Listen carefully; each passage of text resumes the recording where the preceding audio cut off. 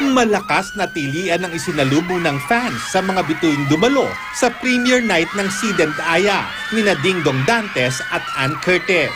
Nasorpresa pero tuwang-tuwa ang mga tao sa pagdating ni Ding Dong kasama ang asawang si Marian Rivera. Papasalamat ako sa kanya dahil nandito siya para suportahan ako. And uh, always naman na um, yung inspirasyon ko sa trabaho ko nagmumula sa kanila.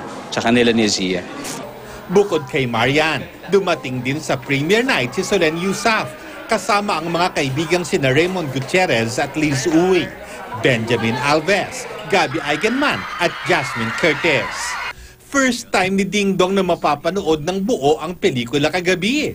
Na-excite din daw siyang panoorin ang mga eksenang kinunan sa Japan. First time ko mag-shoot ng pelikula sa, sa ibang bansa eh.